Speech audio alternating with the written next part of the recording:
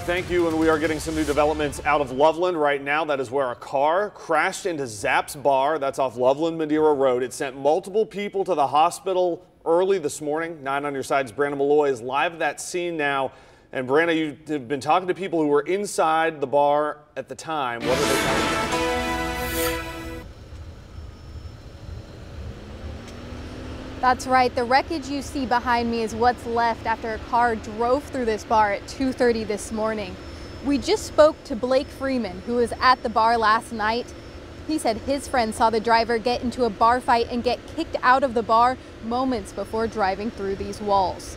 Freeman said he drove into this parking lot shortly after that, and he witnessed people jumping over the fences trying to get to safety. I had left the bar and uh, came back within 10 minutes. Um, we come back to a, a, car through the building, so I immediately just started helping people.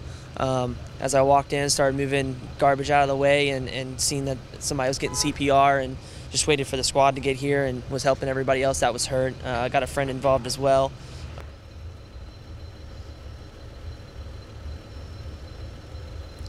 As for how Freeman's friend was injured, he said that happened after the driver drove through these walls, got out of his car, and then punched her in the face.